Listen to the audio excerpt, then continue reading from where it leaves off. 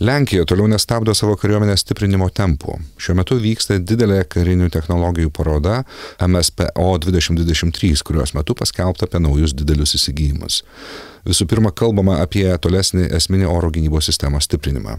Parodos metu buvo patvirtinta sutartis su Lenkijos konsorcijumu PGZ NAREF dėl pagrindinių pažangios trumpo ir vidutinio nuotolio oro gynybos sistemos NAREF elementų tiekimo Lenkijos kariuomeniai.